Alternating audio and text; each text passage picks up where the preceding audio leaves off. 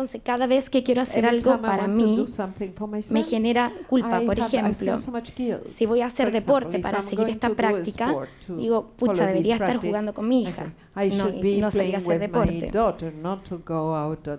O cómo voy a meditar si hay pacientes que me necesitan. Entonces, esa culpa no me dejaba avanzar. Entonces, mi pregunta era, ¿cómo puedo superar ese sentido de culpa? That feeling of guilt?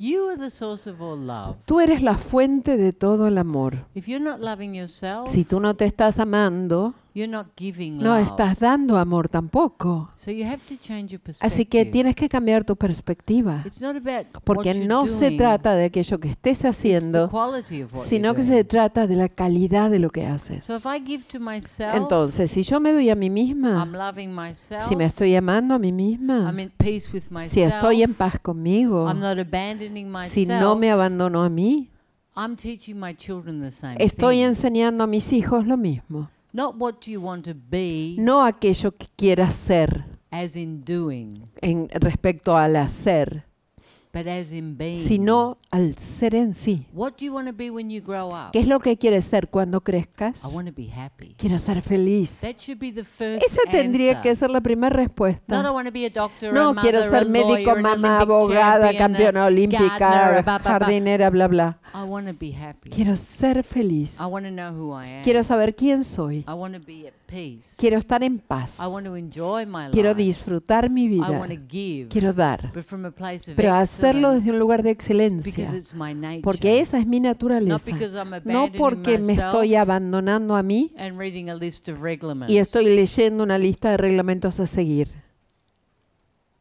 So, the Entonces, las facetas van a arreglarte. Because every time that starts, porque cada vez que esa exigencia empieza, mi culpa, mi esa mi culpa, mi culpa, you're going to think, tú vas a pensar, love creates amor me crea mi perfección, amor me crea mi perfección. And you're going to create a place of Y vas a crear un lugar de conciencia and y de silencio where you can sit. en el que tú puedas instalarte And internamente make to- choices from integrity, vas a poder elegir desde un lugar de integridad, no de autoabandono.